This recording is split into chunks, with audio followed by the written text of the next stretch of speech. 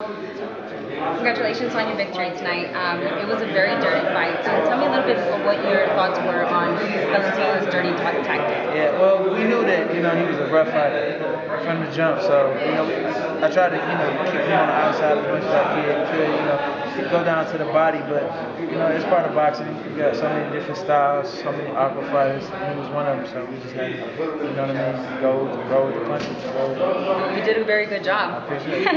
um, disqualifications are very rare in boxing. Right. Um, are you satisfied with the results?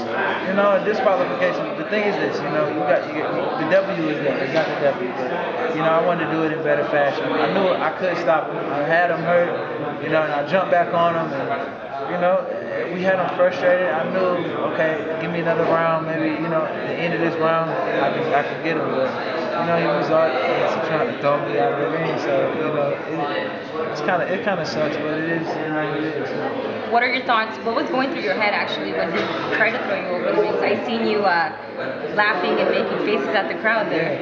It was it, it tripped me out, you know. I see it on I saw it in a few fights before. You don't think it'll happen to you, you know. And I was like, just happened to you. Know, wow, this really just happened. He's really trying to pick me up right now. So you know, I, I'm bigger than him. I know I came in bigger than him. So he, he picked me up with ease, you know. I'm like, okay, you know, but you know, it is. It's what I went down. Well, you definitely dom- nominated the fight, and I congratulate you for that. But I have one question. You had a huge entourage at the end. Tell me a little bit uh, about who was involved in that entourage. Well, you know, uh, it's just the guys from the gym.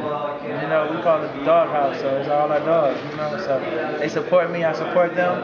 I'm gonna definitely be there at their fights. They came out to show me love in my fight, so uh, you know, uh, we put so much hard, hard work in, in and out of the ring, and so uh, you know, there's a lot of guys that I run with. You know, when we run, we train, we train just like that. You know, 30, 13 guys. You know, so that's how we work, and they all come out to support. So Uh, how did it feel to have Floyd Mayweather Jr. in the crowd watching you? Did it add any pressure to you?